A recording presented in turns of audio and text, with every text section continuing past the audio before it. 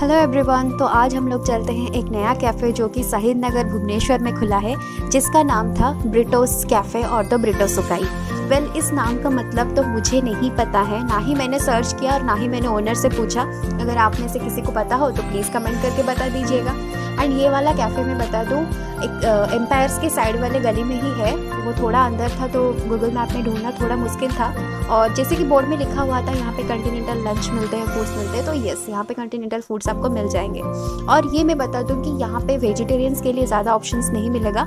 Non veg का ज़्यादा option है। वेजिटेरियन के लिए pasta Maggi sandwiches you can get over here and ये था अंदर का नज़ारा जो कि बहुत ही प्यारा था, बहुत खूबसूरत था। लाइटनिंग वगैरह, बहुत decoration was very good and थोड़े ही अंदर जाते ही आपको एक सेटअप मिलेगा खूबसूरत सा, जो कि सेलिब्रेशंस का था। सेलिब्रेशंस मतलब बर्थडे हो या एनिवर्सरी हो you can go and celebrate your moments your dates तो आप उसी तरह से उनको बता दीजिएगा क्या सेलिब्रेट करना है तो वो आपको डेकोरेशंस करके दे देंगे। एंड ये था कुछ ऐसा नज़ारा, जिस दिन हम लोग गए थे, उसी दिन ही किसी का बर्थडे था तो ये डेकोरेशन उसी के लिए ही था। लेकिन ओवरऑल इसका जो भाई था, मुझे पर्सनली बहुत अच्छा लगा।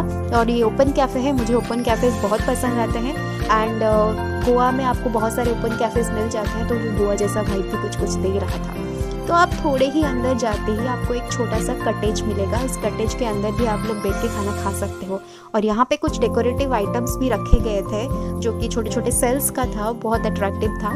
एंड ये सी बहुत ही खूबसूरत नज़ारा दे रहा था।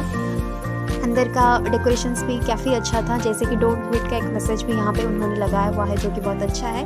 एंड uh, आप देख सकते हो कितने खूबसूरत से ये लोग इसको मेंटेन किए हैं।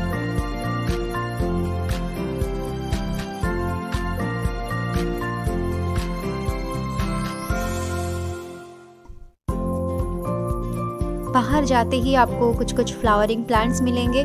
जो कि खूबसूरती को और भी बढ़ा रहे हैं और ये था कुछ बाहर का नज़ारा। इस तरह से एंड बाहर भी आपको बैठने के लिए बहुत अच्छा सा सेटअप उन्होंने बनाया है। तो बाहर जाते ही आपको राइट साइड में ही इस तरह सा सेटअप मिल जाएगा। क्यूट क्यूट स्टूल्स हैं टेबल्स हैं, आप बैठ के यहाँ पे खाना खा सकते हो और ऊपर का डेकोरेशन इतना अच्छा है कि यहाँ पे फोटोग्राफी भी बहुत अच्छा हो सकता है। लेकिन इस यहाँ का एक माइनस पॉइंट मुझे ये लगा कि यहाँ पे बहुत सारे मस्क्यूटोज़ हैं, जो कि बहुत ही इरिटेटिंग है यार।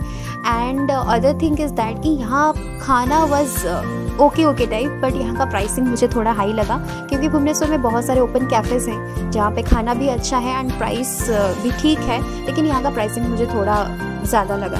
बाकी आप लोग यहाँ पे आओ, इसको ज़्यादा एक्सप्लोर करो, ज़्यादा खाना मंगवाओ एंड देखो कि क्या है। आप, मुझे तो थोड़ा प्राइस हाई लगा, लेकिन आप लोग आओ और इसको एक्सप्लोर करो ज़्यादा एंड मुझे कमेंट करके अपना अपना एक्सपीरियंस ज़रूर बताइएगा। तो ये था मेरा एक्सपीरियंस इस कैफ़े के बारे में। तो आई होप आप लोगों को ये वीडियो अच्छा लगा हो एंड आप यहाँ पे आए, इसको एक्सप्लोर करें ज़्यादा। And please don't forget to like share and subscribe to my channel and for more videos for please stay tune and till then bye bye